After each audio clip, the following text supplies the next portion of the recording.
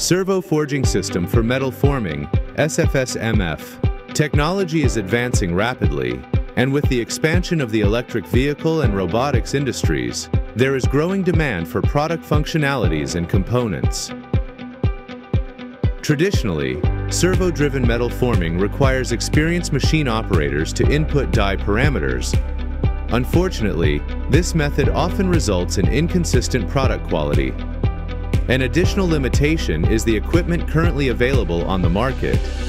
As this equipment only supports certain types of forming processes, applications are limited and multiple dies may be needed to handle certain demands. Such equipment also involves secondary machining just to meet basic accuracy standards and often incurs additional equipment costs and production time.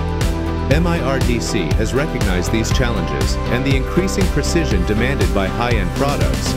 In response, MIRDC has developed an ideal solution. The world's first and only servo forging system for metal forming, SFS MF supports forming processes for different materials and product specifications.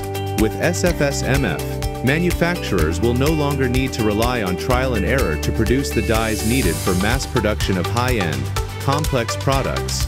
For this system, MIRDC completed simulations and analyses with smart digital servo mechanisms to create a database. This database then allows for the manipulation of motion curves and forming speed and, as a result of the multiple functions created through human-machine integration, optimizes the forging process.